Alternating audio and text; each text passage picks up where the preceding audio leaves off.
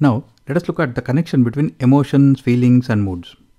Suppose you have applied for some exam and the result comes and you realize that you have not cleared the exam.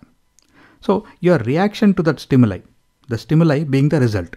So your reaction will be the basic or the primary emotion.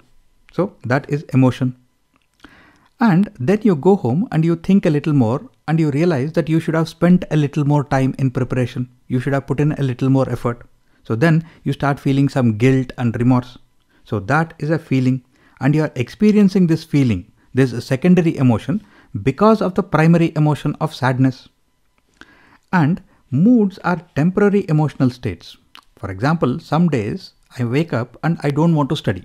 It is not that I'm sad. It is just that on that particular day, I don't feel like studying. So that feeling of not wanting to study will go away after some time. So moods are temporary emotional states.